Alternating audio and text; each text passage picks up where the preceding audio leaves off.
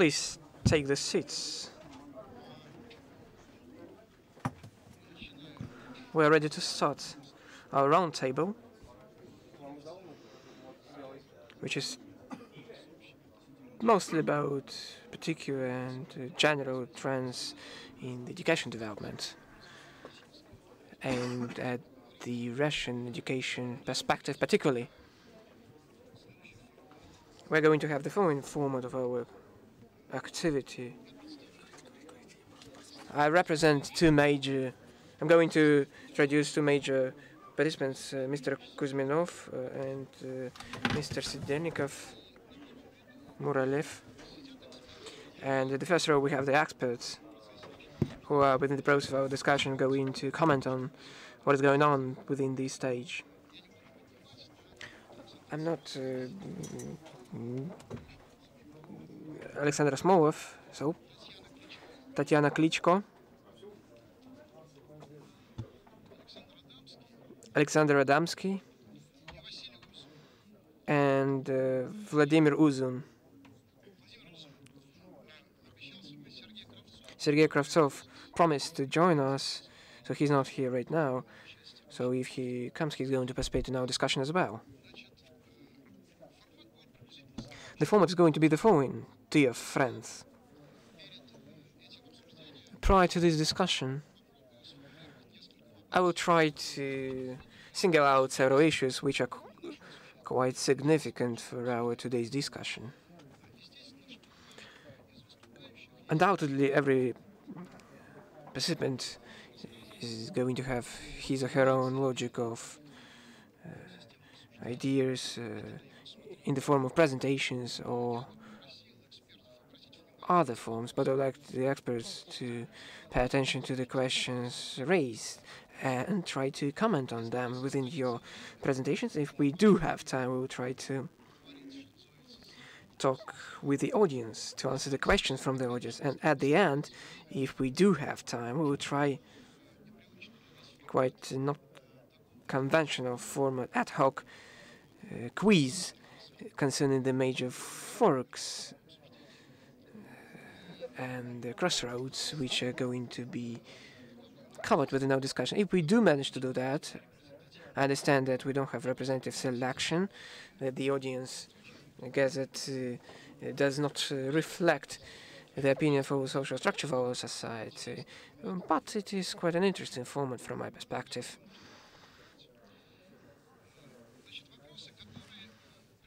the questions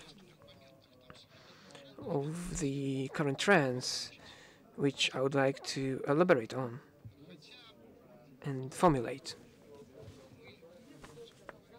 Though we're going to talk mostly about the Russian uh, case uh, based on the presentation materials provided, Anyway, I would like to draw your attention to the following fact from the perspective of different objectives uh, within the education values and uh, guidelines uh, behind this education system, comparative approaches in terms of the ratings and participation in different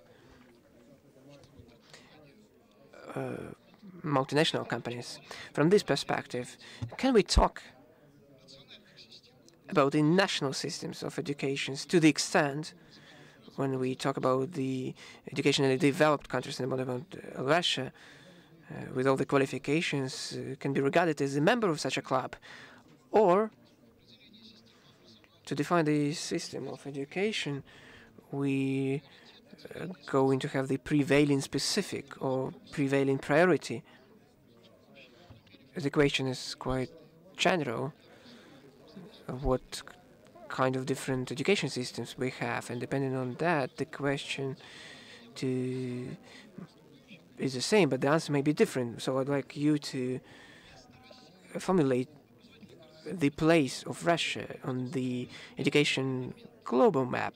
It is the organic element of this global element, or, as we say, we have our, our own way to go. That is the first question I'd like to raise. The second question from the perspective of those possible reforms and maneuvers being discussed within our society.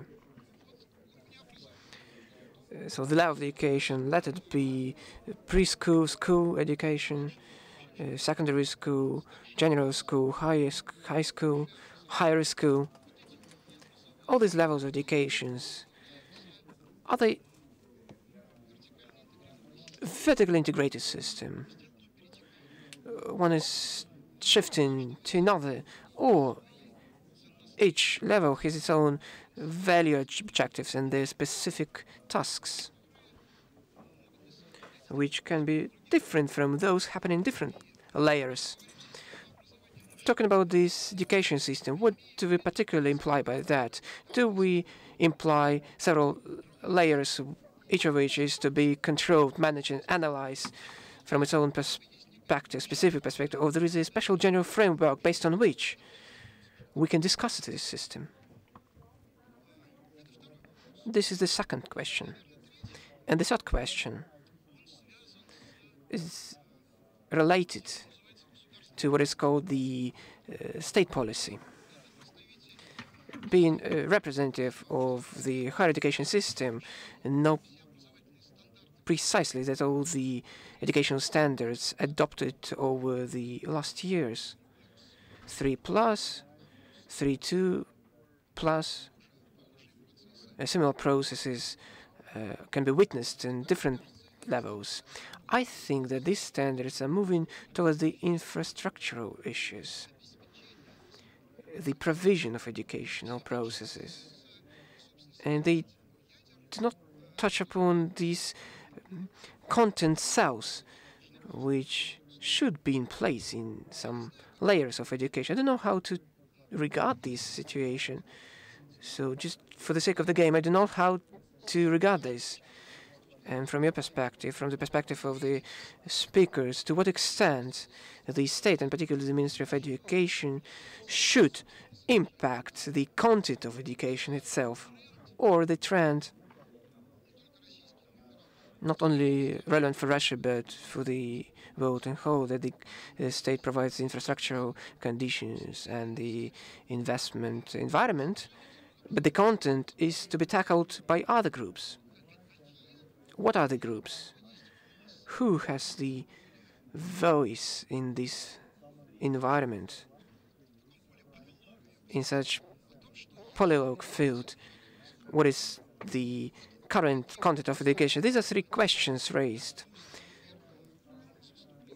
They mostly relate to any uh, presentations of the place of Russia on the global education uh, map. Can we talk about the national education systems?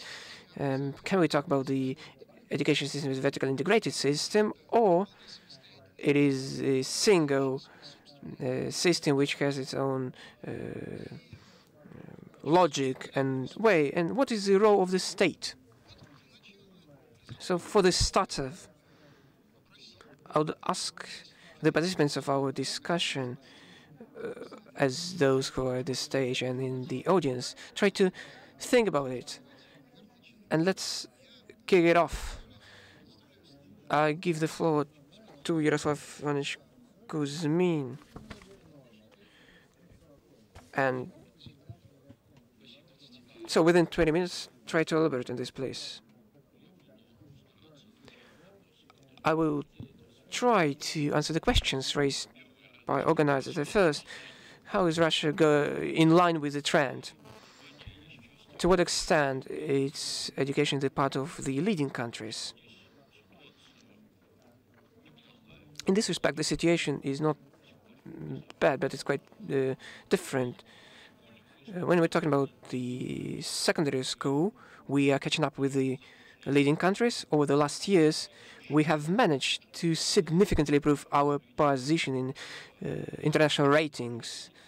I would reiterate that this part of these ratings is based on uh, the realities of Anglo-Saxon school. Those who are aware do understand what we're talking about. It, it, it was really difficult to do that, but the Russian secondary school is top 25%, maybe even top 20% in terms of the quality of education. This is a very significant outcome. And it has one qualification.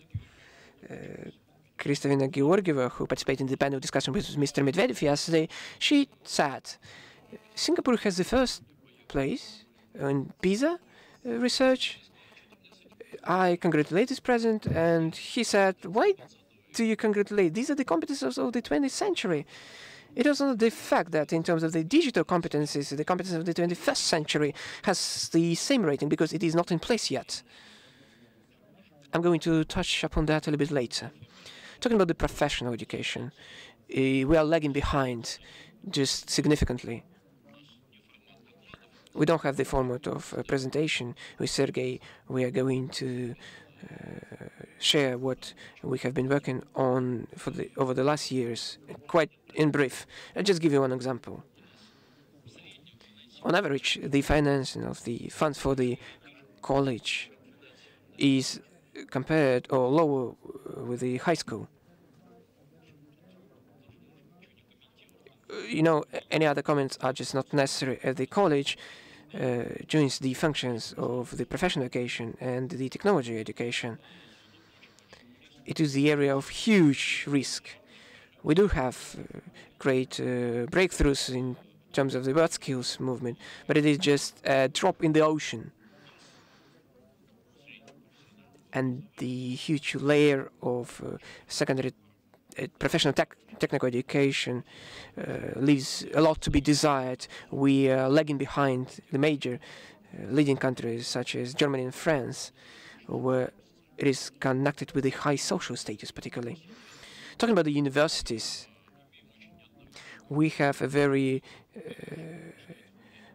heterogeneous picture about city, univers city universities have been progressing in international ratings. They are quite uh, objective. Uh, they demonstrating the function of the research within the universities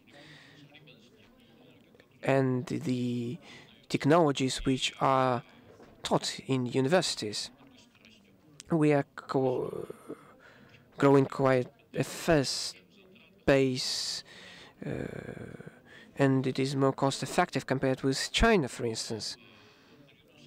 But along with that, we have about 50% of students who do not have uh, just uh, attending education, and it is not financed at all.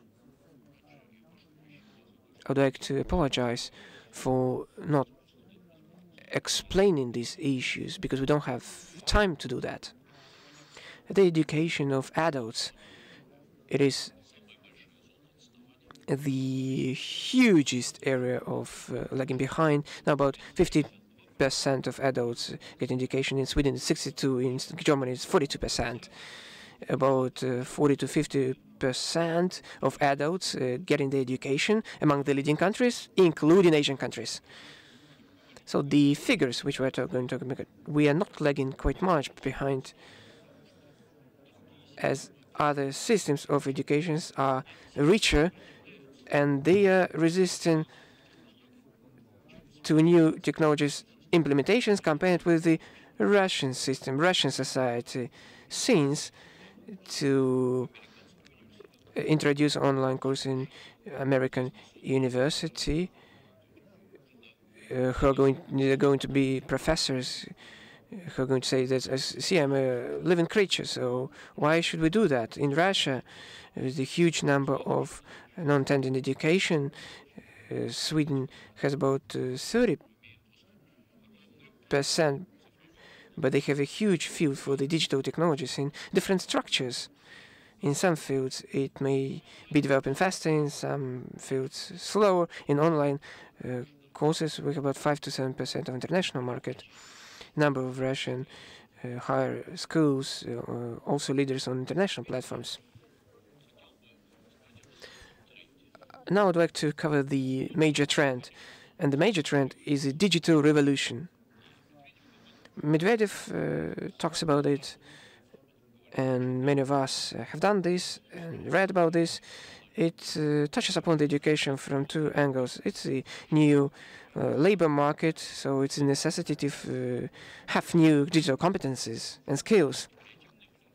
It should be creative, uh, subjects apart from the digital competences should be the education of decision making, selection of the options, uh, co communication, cooperation, and presentation education, those sectors which are in the hands of humans after the labor market is renewed as a result of the digital revolution. And the second is the inner reconstruction and rehauling of the education system itself. There are several sectors and areas. The first is uh, the artificial intelligence and cloud solutions. Artificial intelligence is the self-educating artificial intelligence is the reality. It is quite expensive. It is only in labs, but according to the estimates for the heads, for the biggest developing and research companies, these are Google, Microsoft, and IBM. We have about five to seven years uh, when the paper textbook is going to be replaced. It's not that the paper is not that tangibly uh, pleasant, uh, but the fact is that the artificial intelligence is going to be quite accessible and affordable and is going to disrupt the whole methodology of uh, the education school, not only in our countries, but in major countries. What is the methodology of a general education school? It is a comprehension of the material. Uh, it's quite an obligatory, ob obligatory uh, comprehension. On the one hand, it is a duty. On the other hand, it's the some kind of the lesson, if, if you remember that that was applied in the Peasantsburg. So, and the teachers through, in five or seven years, we can mm, give our estimates. We just not know whether the task was solved by Peter or by Peter's smartphone. And Peter's smartphone is going to do that, uh, providing uh, explanations and conclusions. Peter Smartphone can write essays in the standard conventional competitions, so on and so forth.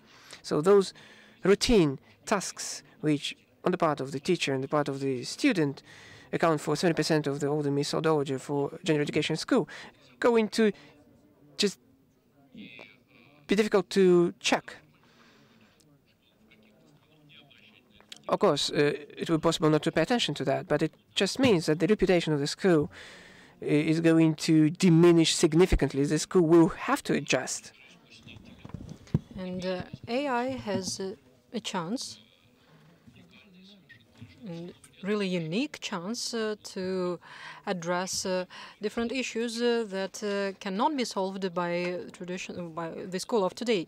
That is, first of all, liberalization of education and individualization of education. Uh, and many people have said uh, that uh, schools uh, have uh, to be in the law on education and artificial intelligence that is embedded in the new textbook of the new generation would be able to adjust to what a kid can do and cannot do, putting forward those tasks uh, that uh, the kid is capable of solving.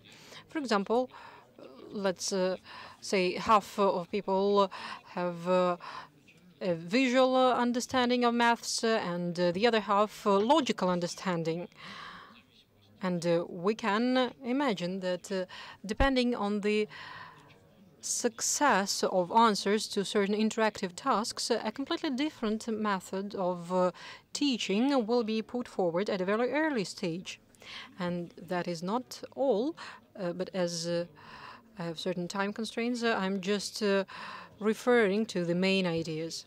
Another chance uh, is, uh, of course, online courses and modules and uh, Unlike uh, AI, they are already developed and they are present in the market. And online courses and modules can be compared with the Gutenberg revolution. That is like Instead of uh, going after Socrates, uh, you just uh, read a book, and uh, in this case, lectures and a certain interaction with the best professor, no matter whether they are, is actually accessible to any student. And uh, that is not really costly. And it gives uh, really massive opportunities to high schools higher educational institutions uh, in terms of saving uh, internal resources uh, and uh, pushing up uh, non-creative uh, and non-research part of the professors. And the third sector of technologically growing changes are simulators and augmented reality. And Simulators uh, are present uh, mainly in uh, pilot training and soon, I believe, there will be a chance to manufacture simulators for practically any technology and for learning any set of uh, production qualifications. And the new generation simulator will create an environment around you. So you will not uh, only learn uh, just uh, using some machine, but uh, you can uh, even pretend uh, to be, um, I don't know, um, hotel uh, assistant, uh, and there will be different examples of different accidents in a hotel, and so on and so forth. And the main result of it all is qualitative change in terms of professors' qualification and status, and all the checks of notebooks uh, is eliminated, but at the same time, there are more requirements. So what is required is project thinking and uh, capability to arrange a discussion, to act uh, as a personal consultant, and school will uh, not uh, evade, will not go anywhere because uh, no society will reject school, but uh, school will have to fight this AI teaching, as I call it, and uh, will be forced uh, to adjust and uh, either uh, focus on implementation of uh, projects or collective projects or games. And both ways have competition aspects. So schools will be a really colossal hotspot of education and uh, upbringing. And it will be really likely to reform the school, but I hope that it will not reform it in the way that it has been developing in the recent decade in terms of individualization and uh, competition, bad competition. And the structural change of uh, educational market is uh, still an open question. How are they going to change? There are several uh, paths. First is online. And online expands the education market really massively and uh, puts forward new elements of educational market, uh, taking them away from the ordinary regulation uh, from state, because uh, the government can regulate everything which is offline, not online. And uh, another thing is uh, the individual choice and independent choice of educational path. Another way is uh, the need of adult teaching. And uh, the fourth way is the growth of uh, families' income and uh, cheapening educational technologies that would demand further diversification. And that all adds up to market elements in education formation that uh, would be more and more independent uh, towards uh, the state educational system than it is like today. And it will also give birth to absolutely new players, not just commercial providers of online courses, but it will give birth to certain consulting companies uh, and educational coaches. It will also give birth to certain chains of companies uh, that uh, give you micro degrees on certain courses that can be accumulated on the basis of blockchain technologies. And naturally, it will also entail certain platforms uh, tapping the market. Platforms uh, that uh, we now talk about uh, in terms of technologies, online and offline uh, technologies like Microsoft platform, Volkswagen platform, and uh, I can assure you that a similar platform would soon turn up. And I don't know whether only Pearson or Prosveshchenie will also be there. It depends only on you and us, whether we would have time to tap this market on time because its main particular feature that we are sensing now is globalization. There will be no purely Russian educational market five years later, and in 10 years, this trend will sharply intensify. And you know why? First of all, in 10 years, it is highly likely that AI interpreter will enter the market and it will be equivalent to certain technical translation. So it will be just a good ordinary technical translator that will be here.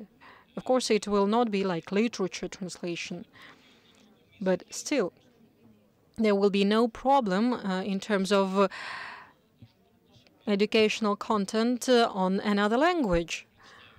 And what it will be like, uh, it is even hard to imagine now. It is hard to see the consequences of this today, bearing in mind just the growth of a commercial component in its uh, unregulated part.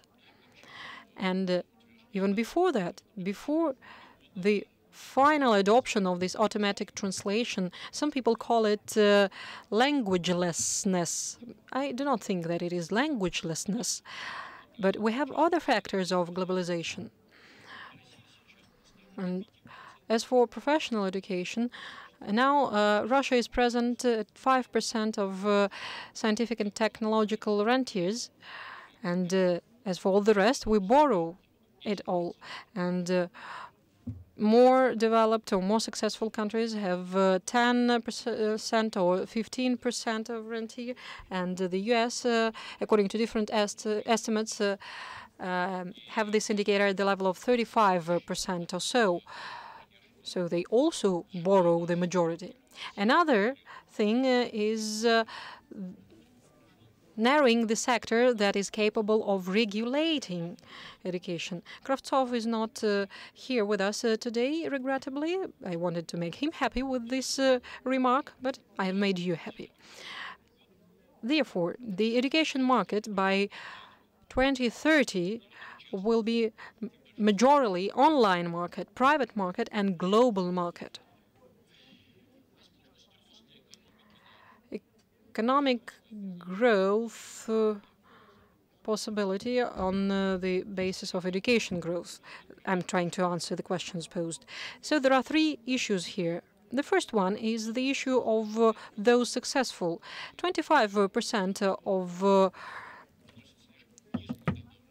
working population uh, uh, or workable population either do not work or have a very low impact but developed uh, countries have managed to lower this share uh, down to 10% and some even to 7%. For example, Finland. And uh, for the economic growth of uh, this country, the loss of uh, this share of human capital is totally inaccessible.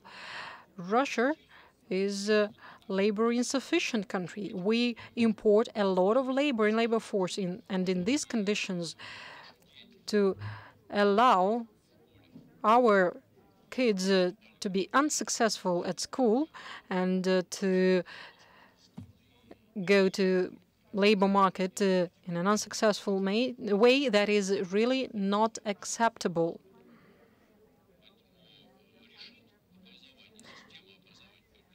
So whether the education uh, system uh, would be able to address the problem of unsuccessful. I don't know, Sergei, are you going to talk about it? No, you are not? Then uh, I will really uh, focus on it for a couple of minutes. And unsuccessfulness, uh, as psychologists uh, say, syndrome of learned helplessness, is formed in the early age because of uh, incapability of uh, parents uh, to deal with their kids. Therefore, in many countries, there is a certain patronage that covers all uh, parents. They just uh, go to visits uh, to parents, see how they play with the kids, and then they see that there are 20 or 30 percent of families with certain problems, and they assist them up to school.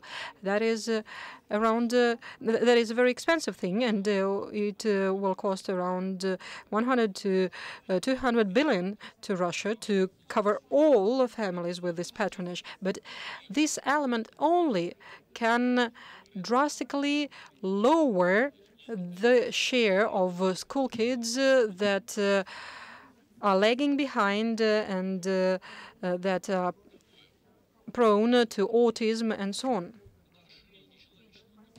Another problem is expanding human capital uh, through radical perfection of uh, collective uh, education. And here, there are colossal opportunities for each person that needs a certain uh, remediation education to gain access to ordinary education as well. And the third thing is digital education. So digitalization of uh, education for each and every. If today uh, the share of talented, the so-called talented kids is not uh, over 5%, why? We have a good and one of the best in the world system of talent seeking. But our Olympic system covers three sectors. That is academic science, very close to school subjects like physics, chemistry, and so on. And the second one is sport, and the third one is art. But I'm sorry, what is beyond this talent-seeking system are such uh, areas of life uh, that uh, account for 90% of labor market and uh, maybe even more. That is technologies, social activities and communications, and uh, technological uh, engineering. And if we can structure and elaborate a system that would enhance the share of talented people from 10 to 15 percent, it will be really a massive growth in between, among other things, uh, into that part of uh, human capital that is ready to accept it. Thank you very much for your attention. Thank you very much, Yaroslav Ivanovich. Sergei Germanovich, uh, the floor is yours, please. Should we run the presentation? I believe that uh, I will uh, follow on uh, Yaroslav's uh, format, uh, and I will do without the presentation. Or Tatiana, as we have a joint presentation with Tatiana Klyachko, so she will she will take us through the slides. Can you give the clicker to Tatiana Lvovna, please?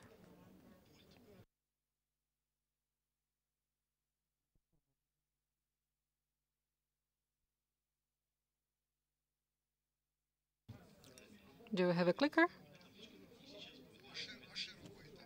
No, you can just wave to me.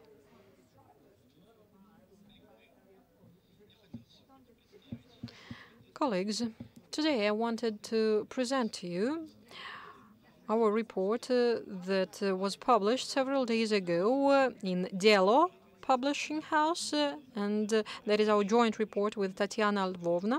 And uh, it also has a lot of findings of our colleagues that we worked with recently.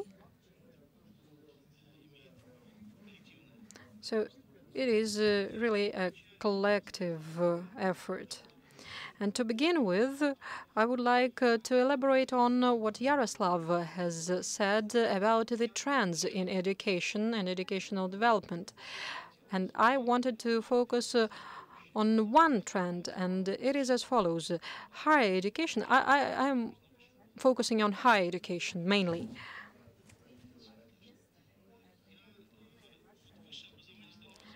So higher education is becoming uh, mass education. Practically all school graduates are willing uh, to study at a higher educational institution and will do so. And it looks like uh, this trend covers both developed and developing countries. To this or that extent, from half to 80 percent enter universities uh, high schools. Whether it is good or bad, uh, it shouldn't be evaluated. It is a trend, and higher education will be mass education. And uh, some years later, practically all will have uh, a high degree. However, let us uh, have a look at uh, pluses and minuses and good and bad trends that are entailed so first of all, it's not, of course, a willingness uh, of uh, parents, uh, but that is also the need of economy because we need more qualified labor force. And uh, even if we are talking about merchandiser, uh, they have to have new skills today. So they shouldn't frighten and put off the buyer, well, at least. Another trend that we are going to see, the gap between top 10% of student education and lower 10% of students will grow because people who can acquire good educations in ancient Egypt or Greece uh, equaled certain amount, certain number of people. Now, this uh, number is uh, larger, but still it is restricted. It is restricted uh, by mental capabilities, uh, by industrious uh, nature of this or that person by different uh, preschool and school education that uh, built uh, their life trajectory seriously. And the share of uh, people that uh, are capable of learning and studying well at higher educational institution is uh, maybe growing, but still that is not uh, all the population. And I graduated uh, on the verge of 70s and 80s. And uh, remember uh, what was the difference between good and bad students there. Good students uh, took their exams in July, and bad students took their exams in August. And now the situation with unified state exam is something that uh, highlights the situation pretty obviously. And now there are higher education institutions that uh, give uh, good education and uh, others uh, where you can study satisfactorily. If uh, we call a spade a spade, these are education institutions that will accept all. So that is the first trend. The gap in education quality will increase, and the gap between the first and the last will be really larger.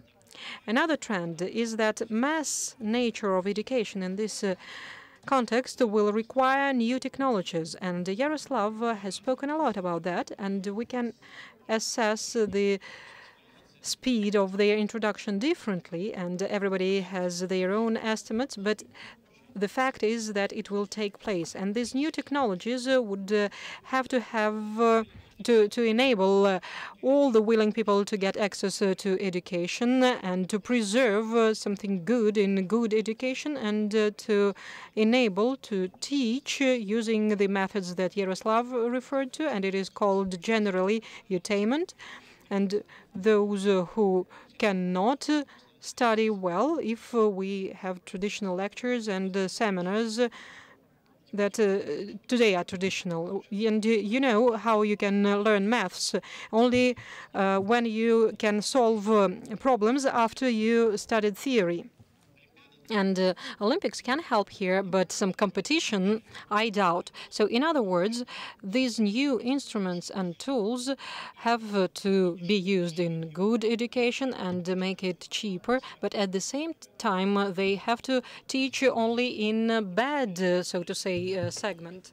I'd like to apologize for this expression, but it is the case. So, further on, I'm going to elaborate on these issues.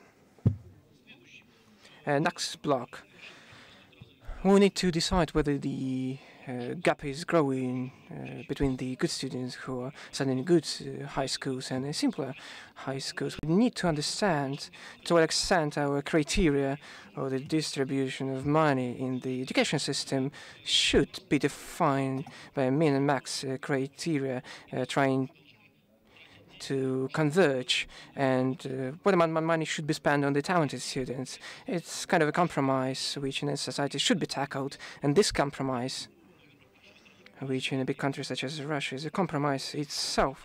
So we cannot allocate everything on uh, trying to improve the poor or just to spend on the talented students. We need to do both things simultaneously. The next trend, education is becoming more specialized.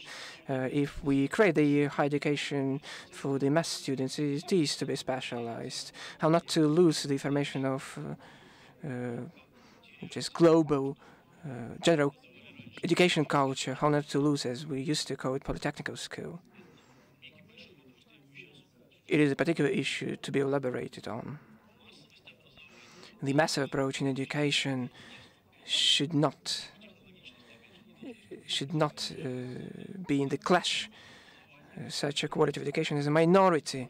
The economies implied by minority uh, usually those benefits of education. The benefit is the, the education is a benefit, Medicare is a benefit, uh, particularly culture, the, the benefit that can shouldn't be distributed based on the wealth, richness and the power. This is the benefit should be uh, allocated on a different criteria. It is a very significant issue how to do in this way.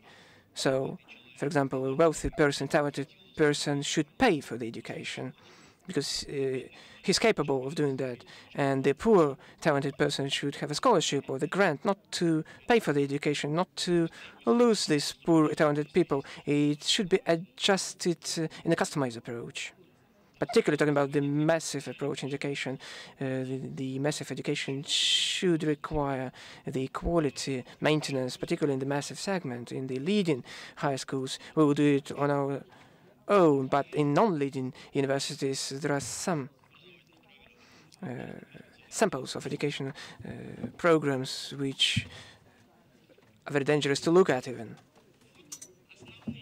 These are the major trends related to the major area in order to increase the reach of the higher education among the societies in all the countries.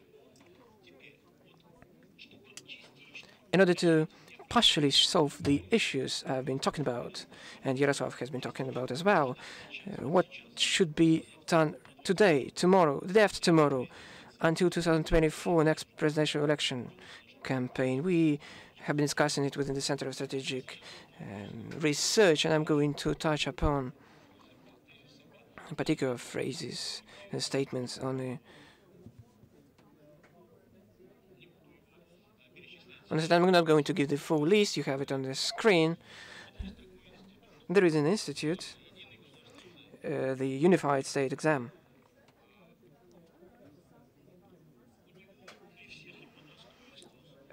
Along with all the benefits and advantages, and I see how the uh, rector, uh, as a rector, uh, it's really objective in terms of the assessment of the knowledge of the students, not within the uh, piloting project, but over some years. If the student gets in the profile mathematical exam over 90, 85 to 90, uh, he's going to be a student of uh, physical technical. Uh, just over 90, 95, he's going to be um, fin financial technologies. If it is 60, so he's going to the Academy of Foreign Trade, if uh, lower than 50, we try to say that you're not supposed to be in our university. Our scoring is 90 because it is very difficult to get an education. To get education will be difficult, so it tracks the parents, it tracks the students. So we had a, a survey, corresponding survey. What is bad about the Unified State exam? The bad thing is that we're uh, ceasing to uh, tackle with those disciplines we are going to go through within the Unified State exam. Here, we need to increase the number, not to lose this uh, general comprehensive culture. There are other tools. M might be You mean obligatory? Yes, of course, obligatory. Uh, unified state exam. There are other ways. So we're supporting the idea which is being discussed is the creation of specialized centers for the unified state exam uh, taking. Probably they will manage to release this stress. Uh, it might be taken not within the single year. Why should we even impose the stress on the students if we may avoid this situation? We should think about such a diagnostic approach relating to other disciplines. The average uh, scoring of the school should be taken into account when we enter the higher school. It will allow to uh, prevent the uh, possible uh, loss of this common comprehensive culture. Of course, it is a mobility.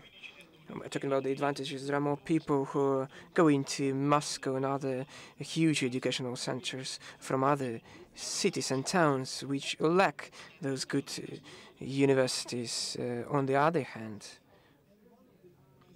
mobility is diminishing the quality of regional higher schools. So why? Because the uh, higher school, strong higher school is the school of strong students. If the students have low quality, the higher school cannot be very strong, actually. Should I actually speed up?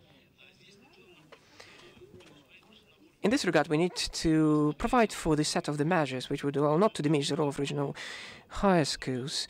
Probably it is necessary to put them under the auspices by the leading uh, higher schools. These are the federal universities, uh, research universities, the list of the president and the uh, WAFT uh, is among those. There are some criteria which have their own standards, particularly. That's a kind of trust on the part of the state towards these higher schools. They may determine their own standards such uh, right is given not to everyone. Yaroslav has said already that they amount to 40 to 45.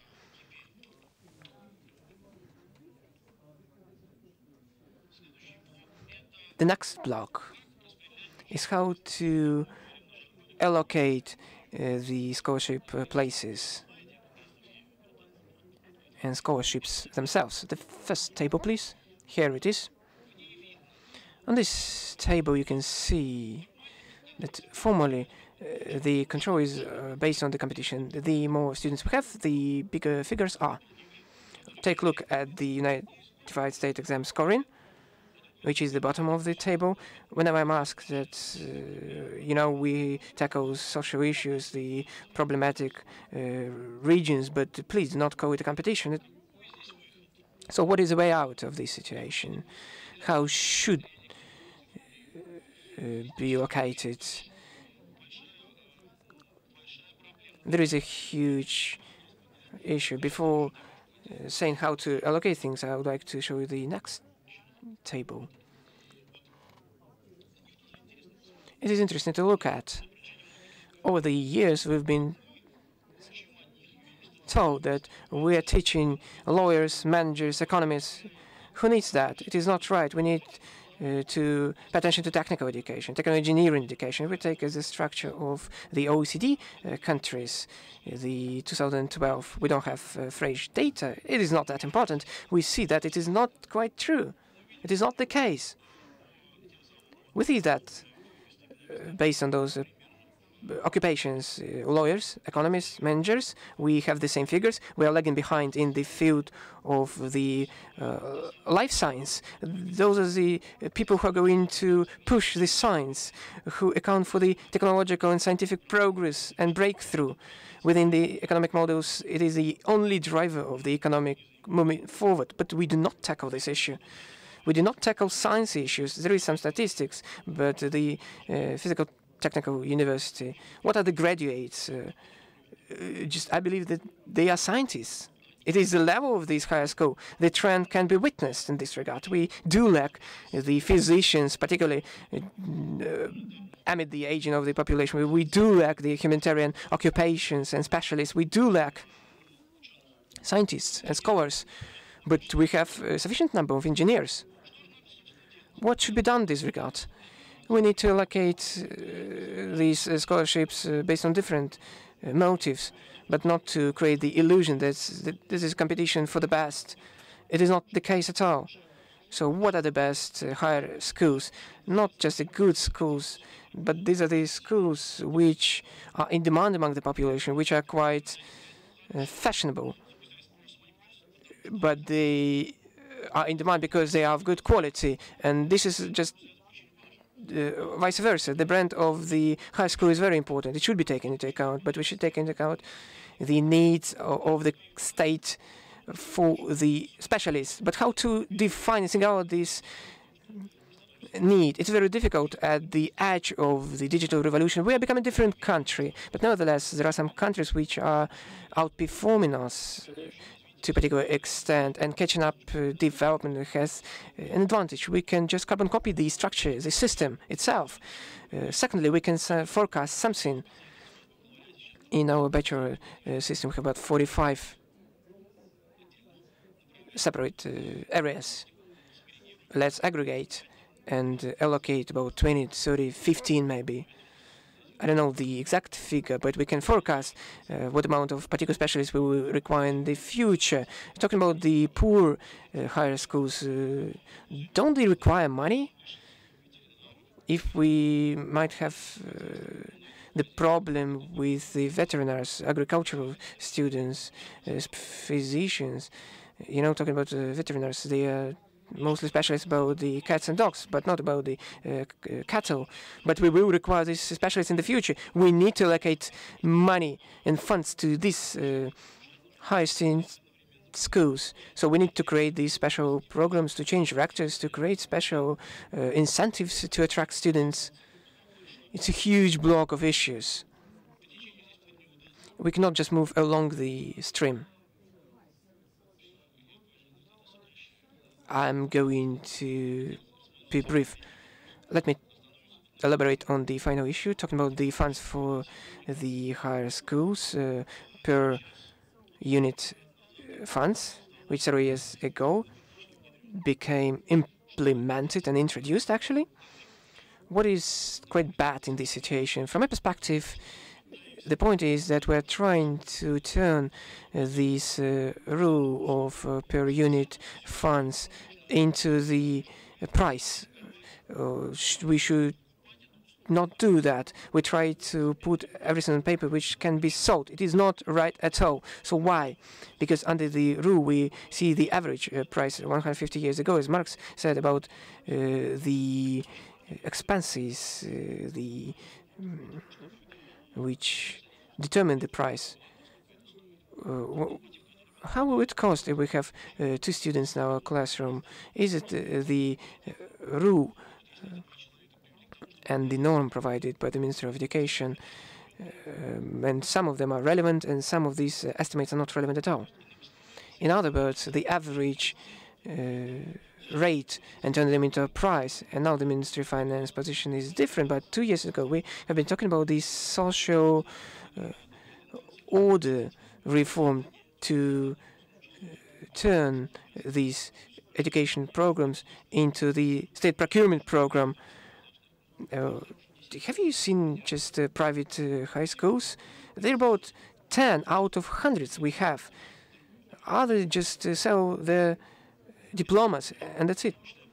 So talking about the distance learning and the selling of diplomas, are we going to put a strain on the uh, scholarships for state uh, universities because they give higher prices? It's not right at all.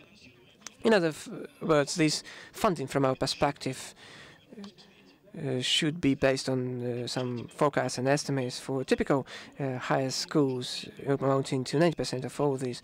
These supposed to be only indirect uh, exp expenses, and the estimate should be based on direct expenses. Why should it be included? We do not understand this logic of the Ministry of Education. We should take a look at the poor higher schools which we require for our society in terms of the professional training and to give the money only uh, based on the uh, overhauling procedure within them try to replace rector and the staff of the institutions unfortunately i'm concluding, so thank you.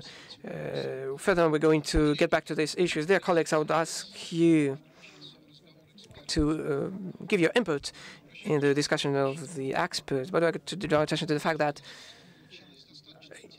deliberately or not, uh, Yaroslav Ivanovich talked about the framework pragmatic uh, uh, approach, mostly related to the comprehension tectonic shifts, and further on moved to possible changes in the education system. And Sergei Germanovich had uh, task of the project and program discussion connected with particular tool sets, how we can do something. Within this range, I would ask the experts uh, try to say, maybe to comment on one part in general, maybe to comment on another part. I'm not insisting on that, but I would like to draw your attention to the fact that this combination uh, did happen. And it's very interesting to know the uh, discussions that Yaroslav Ivanovich mostly talked about secondary school uh, from this uh, pragmatic approach perspective, but talking about the project and program uh, shifts and movements, uh, Sergei Germanovich mostly touched upon the higher school. Is it on purpose or not? It's not for me to decide, but I would like to say that this fact is in place. Dear colleagues, I would ask you to uh, give your input within three to five minutes as maximum. As Tatiana Lvovna and Sergei Germanovich uh, have uh, has been preparing this presentation for us. I will give the floor to her at the end of our discussion. So, Alexander Asmolov, please take the floor. A presentation, please. Dear colleagues, is it possible to talk about love within three to five minutes? I will try to do that. It's much. It's much. It's much for that. My presentation is called These Silent Revolutions of Why. Why is it called so? And why is it easier for me, taking into account these uh, two brilliant presentations, to raise questions but not to answer this question? I'm going to elaborate on that. Next slide, please. The situation discussed in these two presentations and everything is happening to our education, to our state. It's really the case. And it is true for many trends in education. It's within the rule of the Red Queen you see that we are lagging behind, but we need to speed up in order to keep the place. If you want to move to a different strata, you need to move two times faster. When our colleagues presented the idea, in fact, we need to try to keep our sit and to move faster, we need to see how to combine different strategies within the education. In order to do that, I draw your attention to the following fact. There are three complementary strategies within the education. The first one is based on the Nobel Prize winner Thaler when he called uh, or the economic approach is the model of rationality. And this model is discussed within the theory of uh, benefits and the culture of benefits. The second model, which is witnessed more and more when we're talking about the talents, about uh, uh talented students, about the motives. That is the model of uh, motivational and value optics, where this secondary school is in the frontier and uh, subsurface uh, stone, stones are to be tackled based on the prior approach. And the third one is a model of education as a cognitive behavioral system in information world. In this regard, we have the following phenomenon move from wit and understanding of which strategies will lead you to success out of those standards that my colleagues referred to. The first uh, strategy of uh, education development, please note that the majority of uh, strategies uh, that have economic components in the context of rational model implies uh, full blindness uh, to motivation and content of education. So motivation of people and content just uh, fall out of the picture. I don't know where. And when one of the leading economists of the country, several years ago, a decade ago, was asked by me about the mid-term and long-term forecasts, and then in uh, brackets, uh, uh, he said all forecasts uh, will work uh, if uh, side effects do not, like motives of people and sentiments and all the rest of this kind, come as a barrier. And uh, that is uh, the well-known uh, formula, I do not see, I do not hear, and I keep silent. And that is this strategy of non-seeing is uh, very visible in preschool, in early education. So in early education, they really do not uh, see it. And Heckman says that uh, return on investment into preschool and uh, preschool gives much more than uh, return on investment into professional education. And uh, it is when you say that uh, to rectors of high school education, that is like uh, saying about racism uh, advantages uh, to African people. But African National Congress is a ruling party, and they have nailed down the whites uh, for a long time. So the sense is clear. The advantage is not successful. Okay. Let's uh, agree on the example later. And here, I believe that without understanding this chart, without understanding that it disrupts the model of rational, like Taleb and uh, used to say, nothing will uh, work. And uh, here, the next thing happened there appears a question without which we will not be able to decide what has happened and what is happening to us. What has been left behind practically totally? Yaroslav mentioned uh, PIRLS and uh, PISA successes, and I focus on them particularly. You can have a look uh, that in Russia, we received 581 on reading, and Singapore, which is a role model today, and everybody tries uh, to go there to get Singaporean education somehow is lagging behind Russia. What has happened? What uh, is behind the scene here? Behind the scene here is a development of new generation standards uh, that are focusing on personalization and variation and Vygotsky's theory. So we have made a breakthrough and instead of following and singing the famous traditional Russian song that is called the Cry of Yaroslavna, we managed to win because uh, from 2009 to 2012, we managed to introduce new generation uh, educational standards. And according to PIRLS uh, results, we can see clearly how far and how different uh, Russia is uh, compared to the global average. And we have to become cognizant of that. Why personalization, uh, variativity, and work with uh, excessive data gives new results. I'm really close uh, to the end, and I understand uh, that I'm always like a Cinderella that is told that her time is up. So in this uh, context, uh, the main thing is uh, to raise the motivation profile of uh, digital education.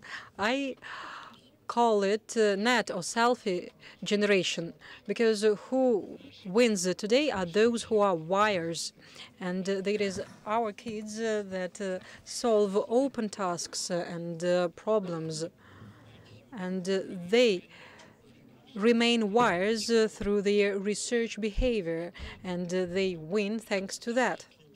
And those who would be even further wires can read Kahneman and other literature.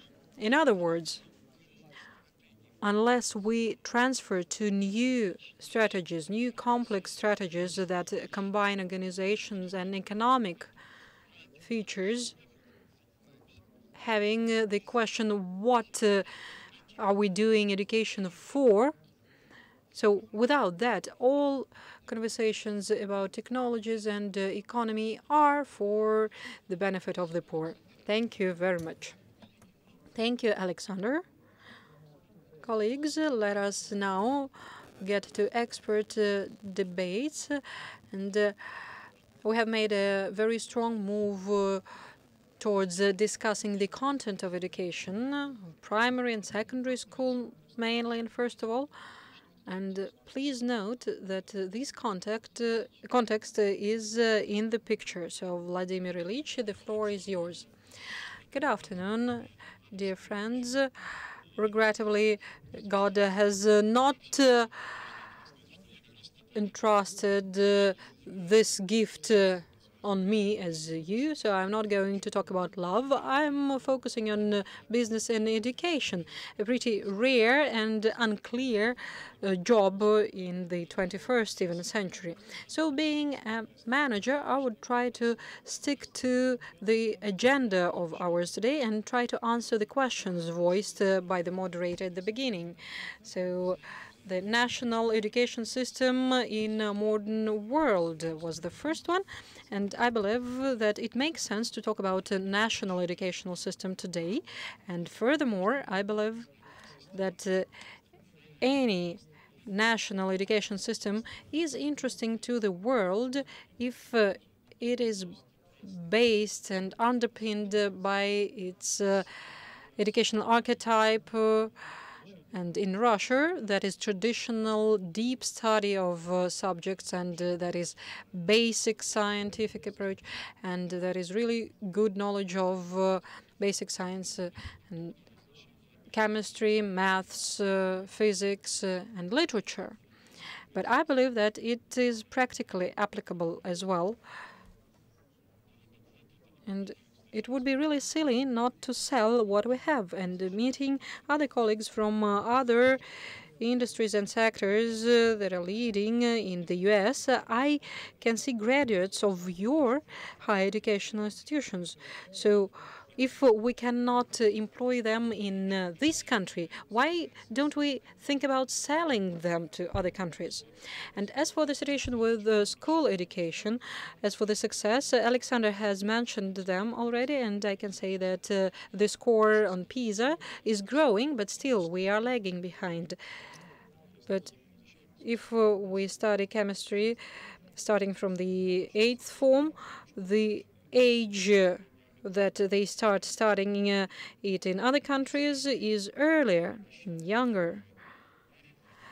As for the level of education and uh, autonomous education, it is more like a rhetorical question, but it can have a simple answer, both yes and no, because school education system is not a vertically integrated company. And every level here is on the one hand autonomous Whereas on the other hand, preschool kid life cannot uh, be compared with adolescence life. But still, we have to determine whether there are any results at all. For example, I can uh, give you an example from uh, labor market. Today, who are more de demanded in labor market uh, are experts uh, that are capable of teamwork and uh, initiatives and uh, who are capable uh, of perceiving the global situation in a calm way. And afterwards, they are not offset by any other level. So that is really preschool kids, and uh, that is the titanic uh, shift uh, of uh, measures when preschool skills become higher than university skills, and it has a global universal strategic meaning. The third question that was voiced is more close is closer to me, and uh, that is uh, responsibility of the state uh, in the content of education, financial structure. The state and the government is responsible for the infrastructure of education environment and its development. But being responsible and doing it uh, by your own hand is not the same. And uh, in terms of investment into education, here we are facing uh, a really huge uh, problem. And uh, we cannot uh, be in charge of servicing uh, uh, 40,000 schools, talking to each of them. You cannot provide services just to each of them. And then the expenditure of the budget is uh, growing and the quality is falling down because the service is growing in its cost. And it is really critical to talk about it on the verge of budget maneuver. And I can give you an easy example. We have calculated that uh, per one state ruble we can invest two investment rubles, but uh, what we are totally lacking in are concession mechanisms. So we can also talk about uh, certain transitions uh, and transformations. And if we do not uh, have centralization or centralized uh, solutions, uh, we will service uh, dozens of thousands of uh, schools differently. And in many countries, that is a huge industry that is manufacturing school equipment. For example, you can try to work with schools in Denmark without Lego they are really closely intertwined, and the whole country lives on the revenue of this company. And I really hope that in 2030 education will be global. But as far as I know today, the government of the Russian Federation has adopted a roadmap up to 2025, and uh, that is uh, focusing on schools uh, going away from cold uh, toilets. And uh, unless uh, we uh, develop uh, the private initiative, nothing will boost here. Thank you very much. Thank you, Vladimir, as well. And he said that the main part of this chain and this whole volumetric uh, education system is school education. That was something that you voiced, wasn't it? And now the question connected with the, special type of investment and economic strategy that is uh, first and foremost connected with the institutional reforms. At least as for the first idea on Vladimir, our next uh, expert, uh, Alexander Adamskiy, I believe, has something to say and to comment on. And then, Alexander, you are free to speak on what you wish. Thank you very much. Uh, so my name is Alexander Adamskiy, and I'm going to speak about institutional mechanisms, uh, first of all, and uh, in the context uh, set by Vladimir Ilyich, also I will refer to budget maneuver. And I believe that uh, now the opportunities of uh, budget maneuver is really are really the main focus, and Regrettably, the speakers did not pay much attention to it because it can become a condition of uh, a great breakthrough or lagging behind uh, on the country. So another idea, a message to economists, uh, so to say. As we are having debates, I expected to hear some clear evidence of how education can influence economy and how increase of human capital really has an impact on GDP or welfare or competition of companies, increase of their profit and so on and so forth from the keynote speeches. So where are these chains?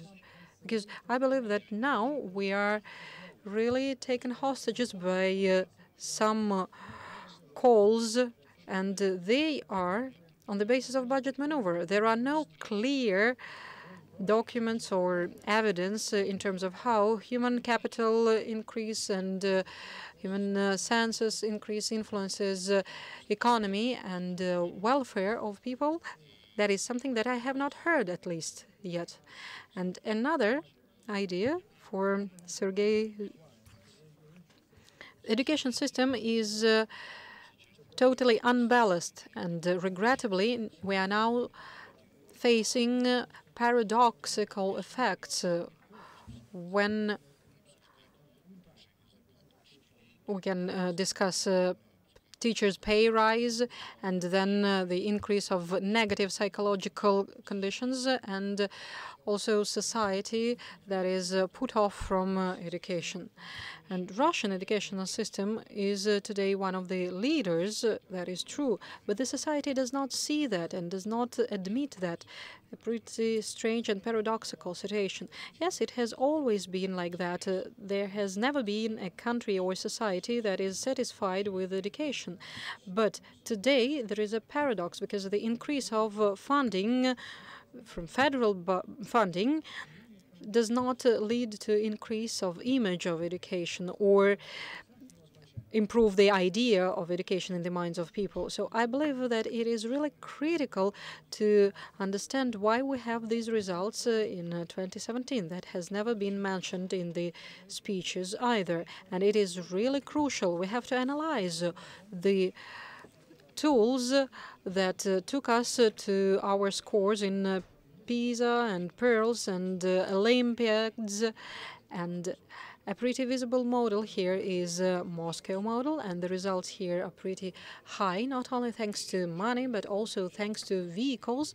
But we also have to understand uh, that uh, education has deferred results. So what we enjoy today, these are the results of what was implemented uh, a decade ago. And then uh, we had uh, priority on national education with the vehicles that we had back then.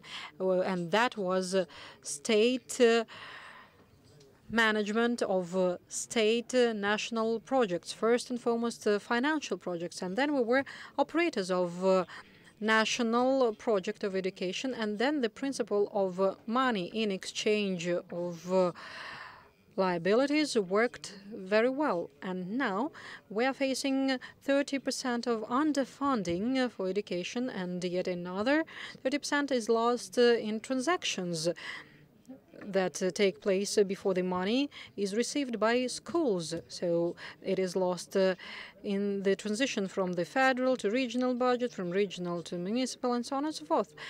And now the strategy and policies uh, are changed from federal level. I changed to municipal level, really dramatically. And to this extent, I believe that vehicles of implementation of national projects are in such condition that none of the national projects can be fully implemented. And what does it mean?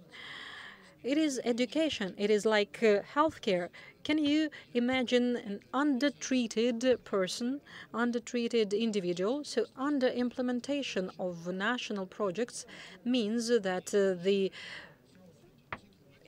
funds invested will give negative results only. And I believe that we are also missing the idea of how the future, the bright future that we are talking about, will turn up. Will it turn up just out of the blue by itself? How will these vehicles, institutional vehicles in the Russian educational system, turn up? God knows uh, how, and I believe it will really slow down uh, the uh, success that we are talking about. Thank you very much, Alexander. And uh, I would say that uh, educational content, mostly in secondary school, should be discussed more and more, and the significance is growing. So, uh, Tatiana, the floor is yours now. Thank you very much, and could you Please run the presentation that we saw before on the prospects. Crossroads and perspectives.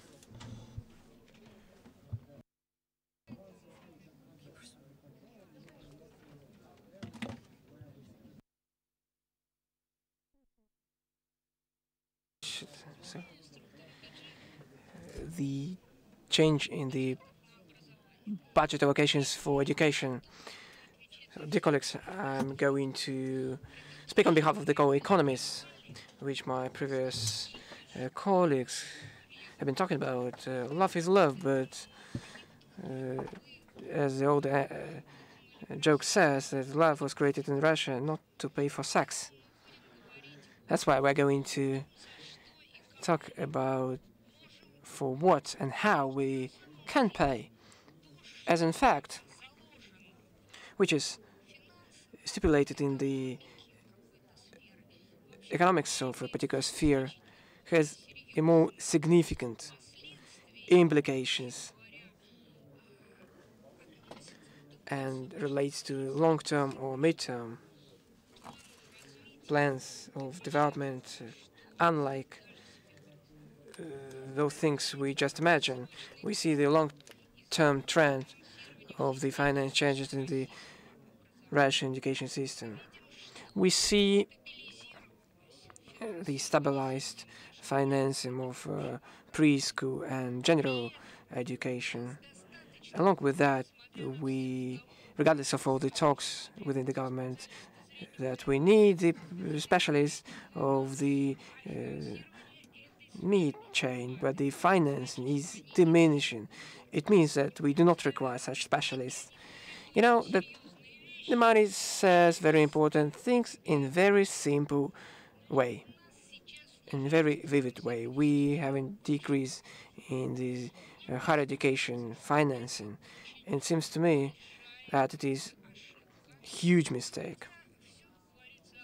But we hear the voices that we have a lot of students, we have abundance of students. Why do we need uh, higher education in this amount? But the point is, we are at the edge, which is of utmost importance. Leading American higher schools which have about 40, 50 students, have the task up to 2030 to increase the total amount of students up to 1 million of students. These are absolutely different universities. We're shifting to trans multinational universities, to the multinational system of higher education at least. It is the answer to the question which Sergei Eduardovich has asked. Secondary school is going to stay national. But when this shift happens within the higher education to such multinational rails, the secondary school is going to catch up. It is difficult to avoid, and we need to prepare for that right now. Next slide, please. In this regard, we are talking about the second budget maneuver. Why should we talk about the second one. The first is a shift of money and the allocation of the money into the system of reproduction of human capital. In this regard, we calculated and estimated uh, a couple of scenarios. I'm going to demonstrate two of them. One, when the state leaves 3.6% of its GDP for the system of education financing. And they have two crossroads, the national option and the more optimal option. You can see that in this regard we can just raise some more money and allocate more money for the system of higher education and we cannot do anything about other layers of education. If you take a look at forecast of the minimum need for the funds, this is the forecast when the system of education is just surviving. It's struggling much. So with this 3.6%, it is not developing at all. If we increase by 1%, which can be allocated according to the official statements, we see that the system is breathing for the early development of children. So what is the maneuver about? It is a strong maneuver. If we're talking about this system of preschool or secondary school education, that is a talk about the long-term development. As the early development of a child is the horizon up to 2040. If we talk about the secondary school, it's up to 2030. if we invest in the future, we set up particular standards for the future. If we talk about the system of professional education, you can see that with the midterm professional, mid professional education, as much we desire, we cannot catch up. That's why, in this regard, we did a simple thing. In order to at least achieve uh, just appropriate uh, level, it's the development of applied bachelor system within the higher school in order to develop uh, administrative and management competencies to move them uh, to the uh, higher schools as these executive competencies should be tackled by them. Thanks to that, we may uh, catch up with the financing of the higher school. It is a palliative. It is a very short-term trend. If we do want to join the global race, joining this global race, we should increase up to 5% at least. Higher education gets about 0.9% of GDP. We move in the level to the level which is uh, quite average for the OECD countries. So accordingly, we will start to catch up. If we do not achieve this level, we will see the leaders, we will see the self elite education, which is going to compete uh, leading countries, but uh, these uh,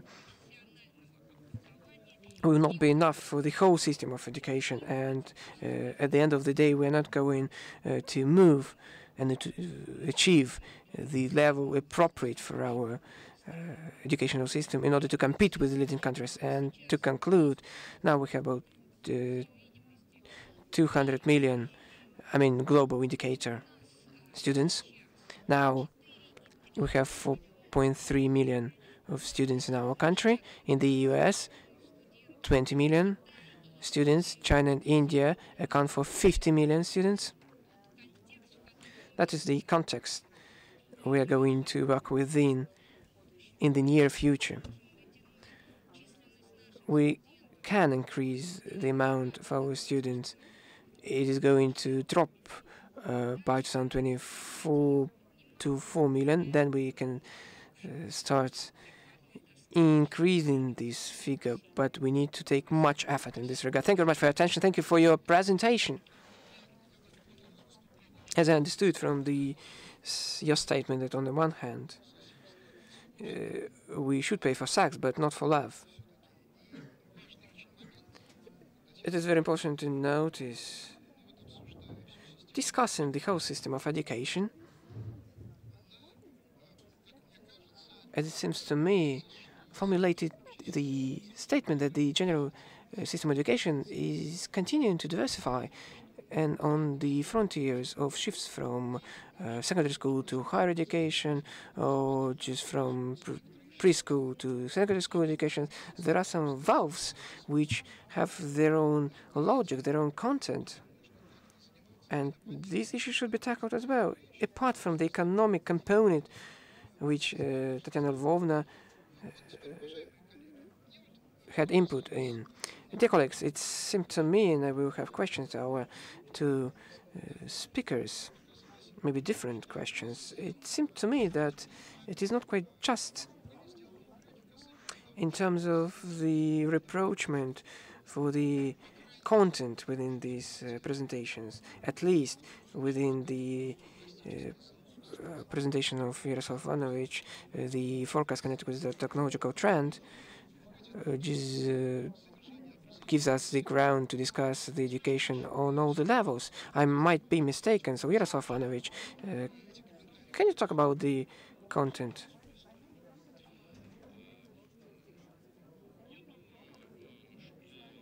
I reckon that there are several points I'm going to comment on what has been voiced already. First thing is the state policy and the role of the state. which Vladimir Ilyich uh, has mentioned. The state policy in terms of the education, it is implicitly stipulated. We can generalize. There are three major formats. The first one is an instinctive one. It is a social stability within the society. It has different forms. It has the form of uh, gene code shifting the culture. It is a very important element of the social stability. It has the format of the social mixing, which providing for uh, level playing field based on the talents, skills, but not on the wealth and connections of the parents. And it is bringing up function, which has been voiced by the Minister of Education. The bringing up function is very important. And the state policy pays huge attention to that. Very often it is the case when the state policy Uh, just is about motivation, about the patriotism lessons. Any upbringing is the upbringing through activity. The second one is the economic growth. And in this regard, we have practically imitation mechanisms prevailing to my regret. What is the state procurement actually? The governor writes what should be done at the cost of somebody's money.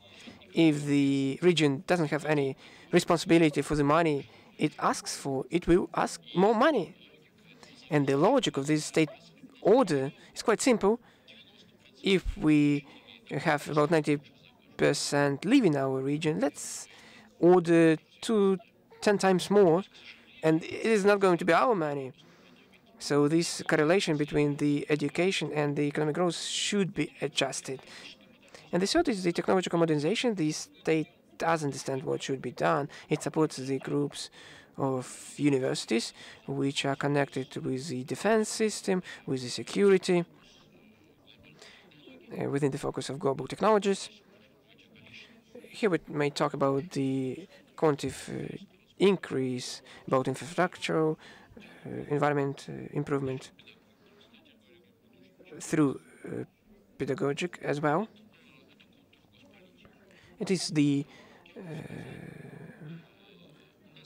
outline of the state policy. The major cap is the connection between the economic growth and education development. Sasha has mentioned it already.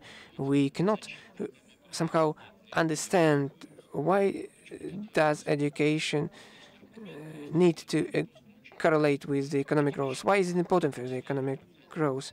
They are quite academic. We don't have a special layer between this academic research and the policy, which is voiced within the mass media. Talking about the budget maneuver, I would like to apologize for these different comments on different issues. Talking about the budget maneuver, it seems to me that Sasha Asmolov has mentioned it. There is a focus program. And Tatiana has mentioned it. We have calculated uh, three ways of budget maneuvers. We have 3.5 uh, GDP uh, to for education. We calculated the minimum is 4.5, which is very close to be adopted there are some trends even to give lower and allocate lower amount of money. But thanks to that, we can just create the top just to transform the professional education. We do understand why the major losses are there. The one third of the programs are imitation programs. Everybody is aware of that. The major part of the students uh, just enter these programs without the intention to study and the politically approach. And these are the tops, but not the roots. The effect will be seen in three to five years of this transformation. But moving along this way, we practically uh, give up not the prospect of 2025, but the prospect of 2035.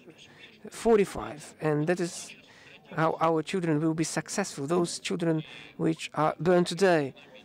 We talked about the phenomenon of uh, non-success.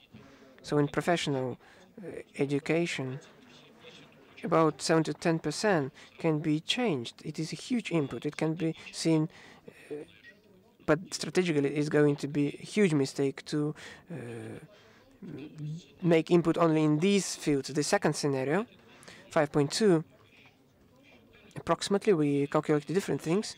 It is a serious full-scale transformation of the general education starting from the pedagogical and psychological uh, paternity. And the third option, 6 plus, is the same but not to touch any, to include all the interests in the program. Any attempts to implement the ideas of uh, Mr. Lenin uh, we will see a huge number of people to plan that, to protect the Soviet people from those greedy capitalists who are going to join this program. So if we can avoid this private capital, it's 6.2%. Let's not uh, uh, speak about uh, percentage points because any forecast is a rough estimate only. What gives the PPP projects in terms of the opportunities? There are some areas. The first is the concession agreement when forming a new educational environment. The state cannot do that. They do not have the enough skills. Let's invite the private business for them to invent in new infrastructure and so on and so forth. And we, so when are you ready to get your money back? So what is the return payback period? 10 years. Let's listen to the capitalists who are ready to invest in education with a payback period which do not exist in any other areas, uh, just but in Sechin's case he has a different uh, scale of reserves and income. It is a very significant. If you are going to write about today's roundtable, I believe that our dialogue with Mr. Azun, Uzun, that 10% uh, interest return rate, it's an should be guaranteed by the state, and the business should invest this money as the uh, state is the client. Gref cannot uh, order from himself. It is an exclusion. There are about 10 to 15, and that's it. It should be for all the children, not only for our own children. As this uh, PPP is very important resource and probably the only resource to transform the material base of the education. And this is of utmost importance.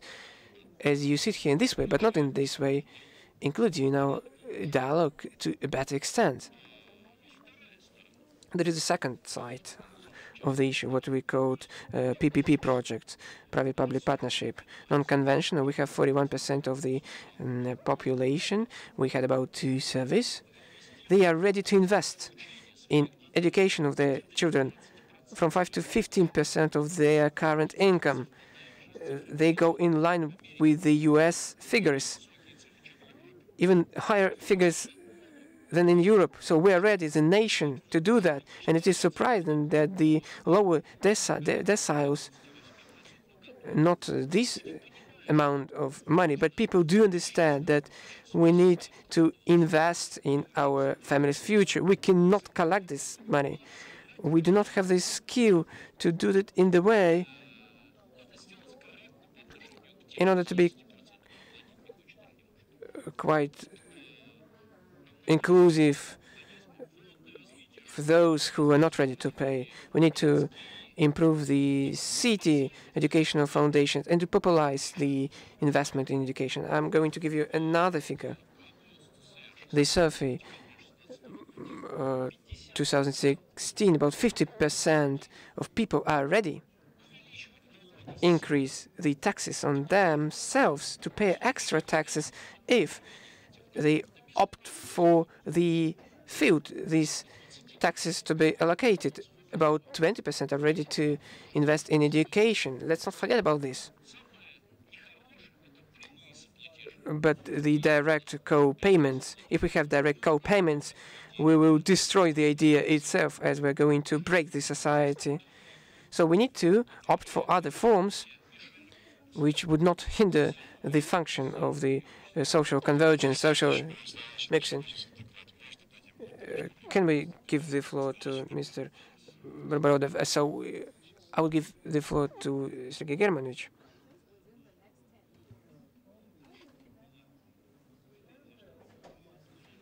Uh, there was a reproachment that we didn't talk about the content of education. I'm going to touch upon that. I didn't have just time. A couple words. There are two imitation institutions, the accreditation of uh, higher schools and Ross Standard. They are just absolutely imitation, reiterating Yaroslav in different regard. They don't have any content. The current accreditation, huge piles of papers which formally should assess something. So that's it. That's the case. In our standards over the last years, we don't have any content. The content of education in the higher education um, standards, they just are not in place.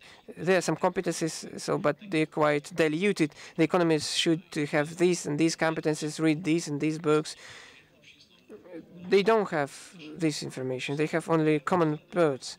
The same can be seen in the professional standards. Now the higher institutions of Mr. Mau, of Yaroslav, were implementing the professional standards. Just please take a look at this. It is just crazy. It should bind those who are going to teach something. It is about nothing.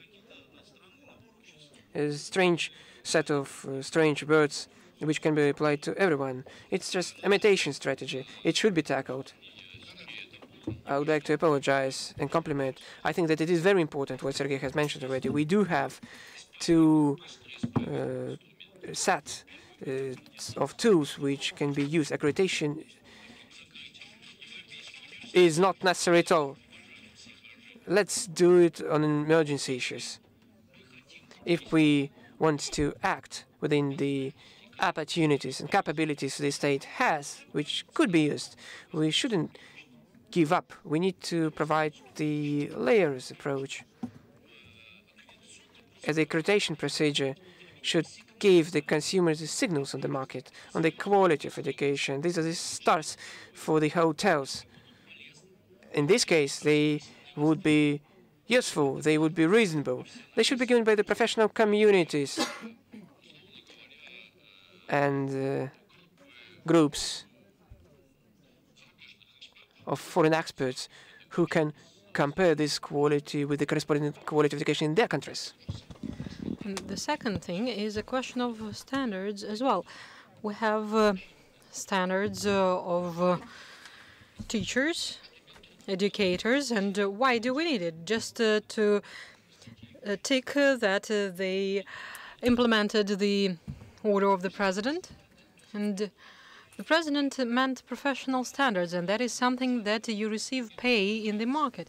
And people just uh, go to receive uh, training themselves uh, to be able to pass professional exam. And it means that it should not be an educator's standard. It should be really a professional standard with different stages or levels.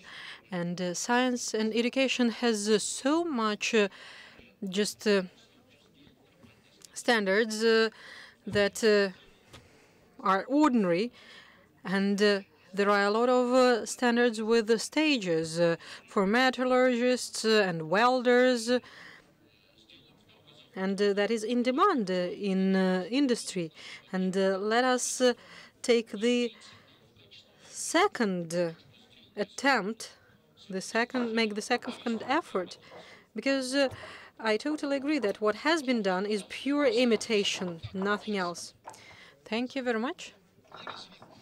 And colleagues, I have a fork, like uh, education does. Generally speaking, there are really very brief uh, experts' comments, and there is a chance uh, to take questions from the audience. And the third option, as implied, uh, was like a poll. And uh, I would not take on responsibility to say which is the main and most important thing. And I'm not ready to put forward one alternative, uh, so I have uh, discussed it and made a decision. I would give 90 seconds to each expert who is willing to make a comment to the debate. And afterwards, we will take questions uh, from the floor. I will be really brief. A question to content uh, of uh, education. There is a really huge amount of content, and the question on creating the structure that this online will be based on is the main question. And can you imagine just uh, the volume of investment uh, that we will have to overlay the infrastructure on. And uh, I would also like to say that apart from the three functions of the state, uh, there has also uh, to be the, the fourth one, that is elaboration of decisions that uh, can be made to attract investment into education. And then we would ripe the effect of the budget maneuver. Thank you, Alexander. I have just one short uh, comment uh, and then a question to Mr. Kuzminov. So comment is that uh, growing quality of education is a challenge to economy. And if uh, school education, I'm not talking about higher education, so if school education uh, develops in that way, very soon we will face a question of where these uh, people that require self-actualization uh, jobs will be self-actualized. They are not in place, and if this uh, gap between education development rate and uh, economy development uh, rate grows, it will be a social and even social political problem soon. And a question that I have to Yaroslav. what volume of budget maneuver do you think, uh, and uh, what are the terms that this decision can be made in? So the volume and the dateline. So now the figures discussed are 0.8% of GDP, and if we calculate investment uh, in numbers, irrespective of that, because this investment has to take place uh, today, that will be 1% of GDP, and then it can go down to 0.8. But we estimated it, uh, not in all, but several sectors. And uh, with the figures uh, or without them, we need uh, one and a half uh, times less money than now. So that is one of the ways out for Russia. Are you talking about the budget of 2019? Yes. Tatiana? Uh, colleagues, that is not Tatiana, that is Alexander Asmolov. Out of what has been said, I would like to emphasize something that has been voiced in Yaroslav's remarks. When we invest into preschool and primary school education, we have much more return afterwards as compared to when we try to compensate something at uh, vocational education and higher education. And uh, that uh, entails a question. You said uh, that the income of parents and families is pretty well calculated, and the probability there is not low. And can parental income be calculated as a motivation index and index of willingness of parents and families in and interest in education. And uh, can it be calculated uh, with engagement uh, index that has grown uh, in preschool and primary school? Tatiana? I believe that what Alexander Adamskiy has said and that Yaroslav Kuzminov has responded to, that is a stage uh, that is bygone already. And now, at the level of human development, we are among the countries with a very high level of human capital, and our economy is lagging behind the level of education that we currently have. And we cannot invest into our economy, even the present human capital that we have, because we are lacking in channels and environment and so on and so forth.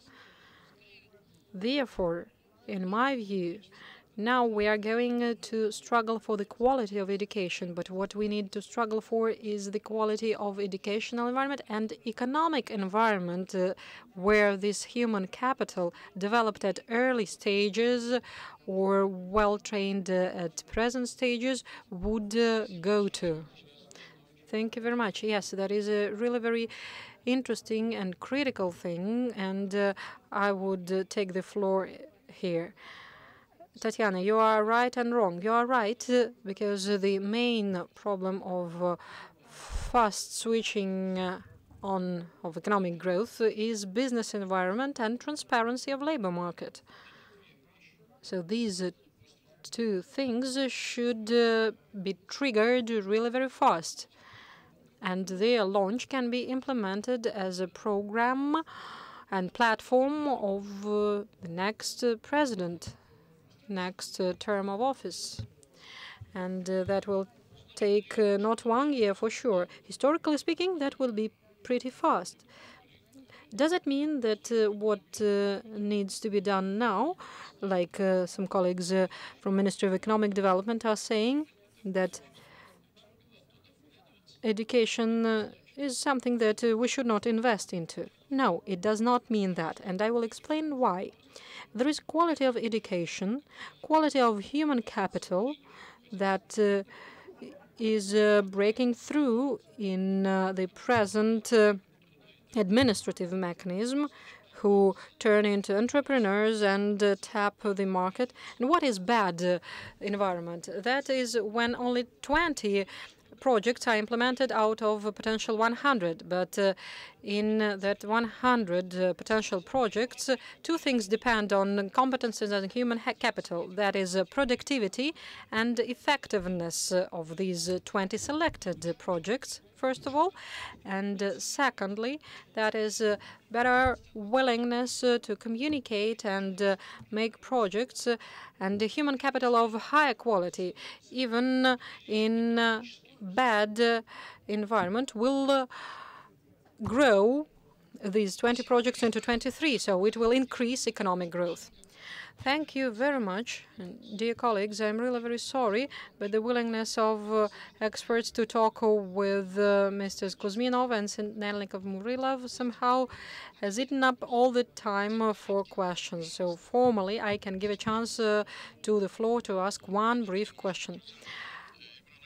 Good afternoon, dear friends. I'm Roman Akperov, rector of private uh, university Rostov-on-Don, and we believe that private education increases the quality of education.